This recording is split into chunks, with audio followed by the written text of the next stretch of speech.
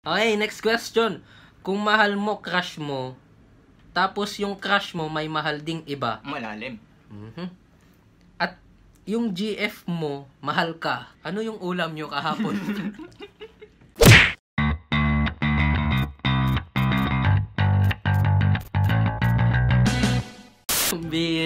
Ah, lalim ng tanong mo, brad. imahinasyon nitong batang to. Shout out nga pala oh, kay Arman Valyes, ang lupit ng tanong mo. oh. Kung napapanood to ng mga tropa mo. Hindi ko alam kung tropa ka ba nila. Oo. Anong klaseng tanong to? Makdo? Nagmakdo lang kami.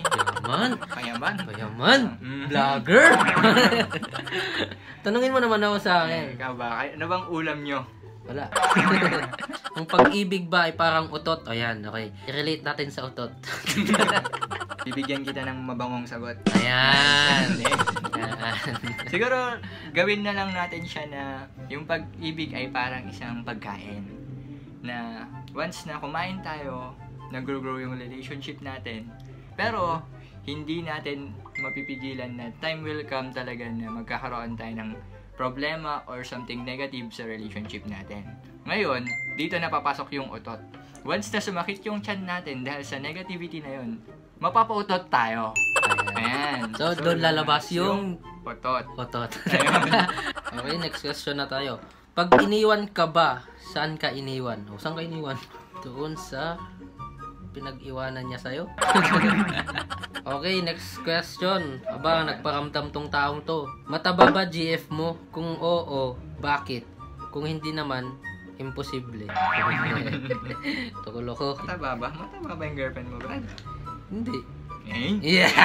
Papalakas ka. Oo, tayo hindi. dyan. Kung nagmahal ka ba ng sobra, kailangan may sukle. Kaya nga nauso yung term na keep the change eh. Ed, kumbaga, kung love mo talaga siya, hindi ka naman na mag-expect ng chocolate. Oo, tama yan. Oo. At saka, wag mo naman siyang mahalin ng sobra. Bawal lang sobra, no? Magtira ka pa rin para sa sarili mo. Kasi kung minahal mo siya ng sobra-sobra, patigurado ko hanapan mo yan ng sukli.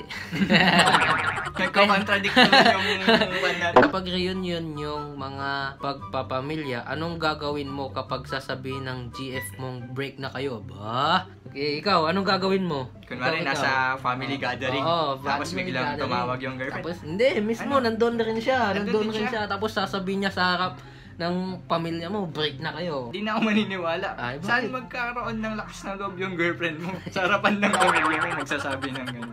Pag ako naman, ang gagawin ko, kunwari, gaya ng sabi ko kanina, kunyari, nandoon kaming dalawa, Okay. magkakapamilya. Okay. Reunion, di ba? Okay. Nandoon kami dalawa sa sitwasyon na yon. Mhm.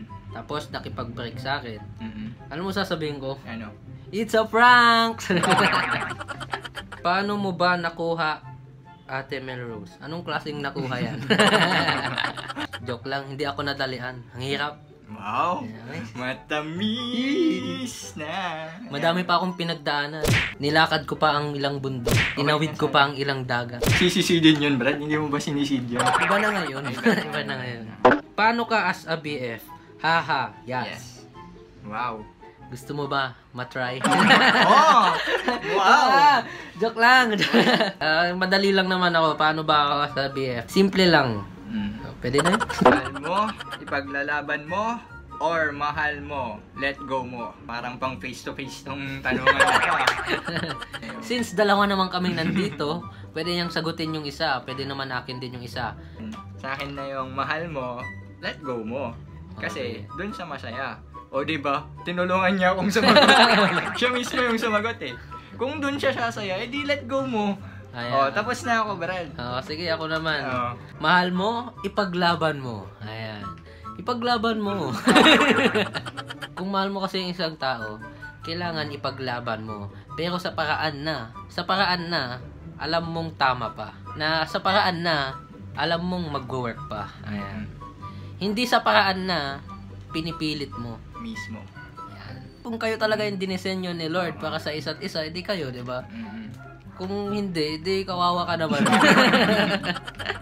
Kuya, in a relationship po, what would you define as cheating? What? Search mo sa Google, okay? Ne. Te, ganito kasi yan. Maraming form of cheating actually. The moment na nakikipag-usap ka sa isang taong hindi mo kakilala and hindi aware yung girlfriend mo, cheating. May kasama kang iba. at hindi mo siya kasama at may ginagawa kayong iba, cheating. The moment na nag-cheat ka sa kanya. Reset! Pasensya na po sa mga hindi namin nasagot ng maayos, pero para sa amin, maayos yun. Sige, okay. Paano magiging matibay ang relasyon ng dalawang tao nagmamahalan? Okay, kung di ka nag-skip sa video na to, napanood mo yon nasagot na rin yung tanong mo. Okay, thank you. Okay, anong mas gusto mo? Mahal mo o mahal ka? Parehas eh. Parehas na win-win yung situation eh. So, pinagpili mo ako. So, pipili ako, syempre. Mas pipiliin ko yung... Kasi yun yung... Okay, next question. From Robert Jacob Peña. Wow, Games. Peña. Oh, Peña. Pag ang karelasyon mo ay hindi nagsasabi ng I love you, mahal ka ba niya talaga? Mhm. Ayan. Parang galing sa experience niya mismo. Ay ba, na-experience mo ba yan, kuya? Ay, Ah. kung di ka masabihan ng I love you, di mag-I love you to ka na lang. Ang word kasi na I love you is pwede mo siyang sabihin a, a- in a different form. Kumbaga, pwede yung girl nagsasabi siya sa'yo ng I love you. The moment na nagsabi siya sa'yo, ingat ka ha, dun pa lang makikita mong love ka niya in a form of pinag-iingat ka niya. So, let's say, yung I love you niya is nasa indirect way. Parang ganon. o tama yan, sa ibang paraan Oo, na... sa ibang paraan ka Oo, niya. sa ibang term. Sa ibang paraan. Sa ibang pamamalakad. Gaya. Parang iba-ibang sinisynonyms mo lang, Brad. Parang... sini- Kunyari, legit yung mga ta- sagot natin. Yan. Ah, Hindi lang naman binabase sa word na I love you yung mismo. yung pagmamahal ng isang tao sa'yo. Tama bang magpalit ka ng reliyon dahil sa relationship? Okay. Oh? Mhm. Ah. Mhm. Ah. Palaban. Ah, Palaban to. ah, palaban yung tanong ah. Sa sagot na to, ay, Malalim, Brad. Sagot agad eh. sa tanong na to, ang masasagot ko dyan, ah, masasabi ko lang dyan, hindi ko masasabing tama, hindi ko rin naman masasabing mali. Kasi, it's not about the religion naman kasi eh. It's about the relationship. Ayan. So, depende kasi yan sa ano, sa practice nyo, kung ano yung paniniwalaan nyo. Depende sa belief nyo, kung ano yung nakasanayan nyo. As long as na nandun yung faith mo, hmm, okay na okay yan. It's not about the talaga the religion, it's about the talaga the relationship talaga yan. You were given a chance, why? Kung nabigyan ka ng pagkakataon, bakit? Tinagalog. Regarding sa chance kasi, guys, yung chance kasi na yan, it's a privilege. Yan, It was only yan. given by someone na alam nilang deserving. So, once na binigyan ka ng chance, Dapat wag mong sasayangin. mismo. Mahirap din kasing mag-give up sa someone na alam mong may pinagsamahan na kayo ng matagal or something na, alam mo yun, So, pag binigyan ka ng chance, yun na yun. Kailangan mo nang magbago. Or let's say, Ayan. kailangan mo nang gawin yung part mo naman, hindi lang yung one-sided yung nangyayari. Next question, mahal mo o mahal ka ba? May pag-asa ba maging sila nung crush ni Arman? Ay, nako, bahala ka dyan. Wala na, may girlfriend na yan. Sa pag-move on po ba, after a relationship, required yung 3-month rule na sinasabi nila? Required. Required ba yung 3-month rule na sinasabi nila? Para sa'yo, ano? well, para sa akin, yun yung para sa'yo. Ay. Eh, para sa akin, required na magkaroon ng 3 months rule.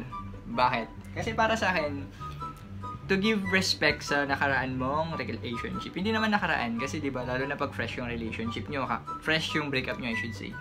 Kailangan mong nagbigyan ng respeto naman yung ka-relationship mo to give time kung kaya nyo pang ibalik yung relationship nyo. Yung 3 months rule na yon it works for something na lalo na pag malatagal na yung pinagsamahan nyo, kung kaya pa ba, kung kaya pa ba ninyong ibalik yung pinagsamahan nyo para hindi naman masayang. Para sa akin, mas better na magkaroon ng 3 month rule para to give respect and to give chance sa relationship. Ayan, okay, tama yan. Do you believe in second chances? Puro, ba't puro ba chances yung Bakit, topic? ano bang nangyayari sa mundo ngayon? Ba't po problemado nyo? Iniwan ba kayo? First of all, wag ka na kasing gumawa ng kasalanan. Oo nga. Kung anong meron sa inyo, yun na yun. Grabe naman kayo. Kaya, Pero ganito kasi yan. Pero sa akin, oo, naniniwala ako kasi ako nabigyan na ako ng second chance. Eh. ako yung paniwalang paniwala. Ayan. Oo, kasi hindi lang isa. The more chances of winning yung sa akin. Ayan. Hindi, tanong lang naman kasi, Do you believe in second chance? Pero kasi, yung chances na yan, parang kanina ko pa nari- nababasa eh. Ah, diba? oo, parang sabagay. chances na yun, dire-diretso Sabagay yung kasi. nakakapit natin eh. Kasi nabigyan ka na kasi ng chance, ano ba naman kasi? Huwag mo nang ulitin. yun na yun. Kung may problema kayo, problemahin nyo. Ano yung pinapabinibigay nyo sa amin? De, joke lang. okay, next question na nga tayo. Okay, last question. Okay, nice. Thank you. Okay, Last okay. question. Bakit sino ang paano at saan ang paano kung kailan? Okay. Okay. Madami yun ha. Kailangan natin isa-isahin yan. Ganito kasi yan. Okay. Ang paano ay kung sino at kung bakit mo natanong. Si sino ang bakit kung paano? Tama. Di ba? Tama. Malaki. Tama, tama yun. Si sino yun kung bakit siya naging paano. Ayan, tama yan. At saka kung bakit paano si sino. Mm, mismo. Okay. Yung ano kasi, yun na yun. Okay, nice. Very good. Ayan. Finally, we're done with the Q&A part 2. Medyo sakit ng ulo ko doon. Sa mga sagot namin, sana nagustuhan mo po yung mga sagot namin, ano? Talagang pinag-isipan at pinaghandaan po yan, no? On the spot po Oo. namin pinagandaan. Oh, on the spot din namin pinag-isipan. pinag-isipan, Ayan. yan. Okay, sa mga nagpapa-shoutout po, ano, shoutout po sa, ano, okay, shoutout po kay Arnold Alvarez, okay? Hello. Shout out Kamusta sa'yo, ka naman kaibigan. dyan? Shoutout din kay, ano, kay Danica Joyce Bukaw. Oo. Oh, nasagot namin yung tanong mo. Sana nagustuhan mo yung Sana sagot. makamove on ka na. Oo, sana Ayan. makamove on ka na din. Okay, thank you. Thank you sa nagtanong. Joy Cortez, shoutout din sa'yo. Napaka-supportive mong kaibigan at No. sa amin mo ipinunta, Okay. ipinakonsulta ang iyong kaibigan. Hindi ka nagkamali, hindi Oo, ka hindi ka nagkamali nagkamali. ng pinagtanungan. Shoutout din pala kay ano, kay Oh. ano ba, paano ba sa ito?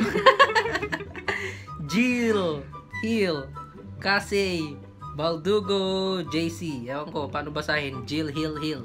Bahala ka na dyan. Shout out sa'yo. So, oh, shoutout sa'yo. na lang din.